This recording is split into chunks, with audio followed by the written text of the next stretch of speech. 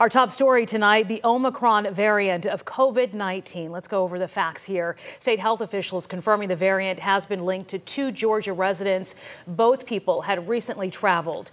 The World Health Organization calling Omicron a variant of concern and says it has already been detected in more than three dozen countries in every continent except Antarctica. Researchers say it is still too early to tell if it is spreading more easily than other variants and if it's causing a more severe infection.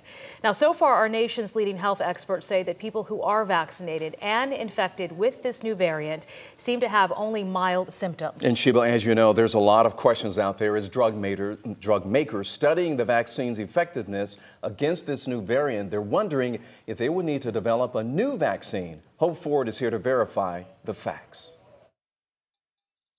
Lots of sources to help with these questions. The World Health Organization, CDC, The Lancet, Moderna, Pfizer, Johnson & Johnson, FDA, and Dr. Anthony Fauci. First, is there a vaccine that protects better against the variant? That's unknown. Research suggests because of the variant's various mutations, it may be resistant to vaccines or natural immunity. So Pfizer, Moderna, and Johnson & Johnson are studying the effects of the current vaccines.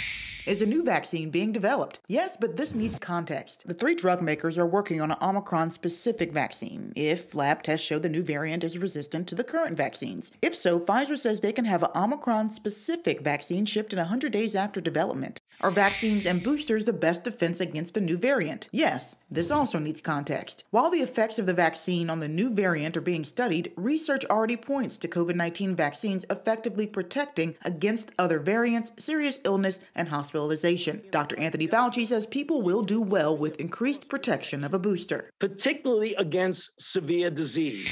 And finally, can you mix your vaccine booster? Yes, studies show mixing vaccines for boosters is effective and safe, with at least one study showing people who receive the Johnson & Johnson vaccine have a stronger immune response if they got a Moderna or Pfizer booster. And one final question Is the Delta variant still prevalent? That's a huge yes, with the CDC saying 99.9% of COVID cases reported in the U.S. are from the Delta variant. If you see any claims online that you think should be verified, send them our way. The email is verify at 11alive.com.